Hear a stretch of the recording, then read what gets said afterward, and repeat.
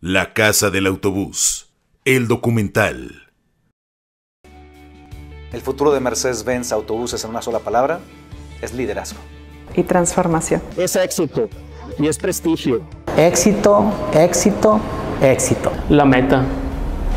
Es la meta para mí. Es la cima, alcanzar la meta y, ayudar al transporte. Para mí Mercedes-Benz Autobuses es evolución. Es disciplina. Calidad. Siempre ha sido lo principal, la calidad. Es un trabajo bien hecho. Es unión. Es aceptación. Calidad, pasión, esfuerzo.